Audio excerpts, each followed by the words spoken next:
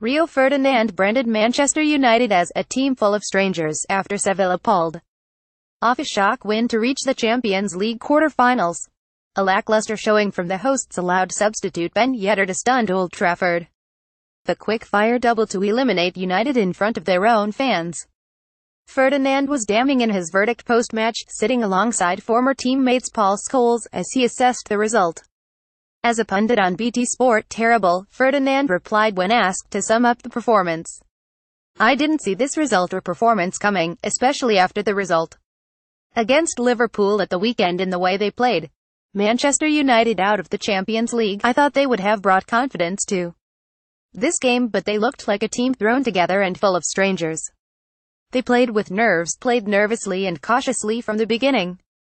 In these games you need to take it by the scruff of the neck. That takes personality and characters to do that in this stadium. You have to give the fans something to cheer about. This stadium was quiet tonight and that's down to the players. The players on the pitch have to inspire the stadium at times.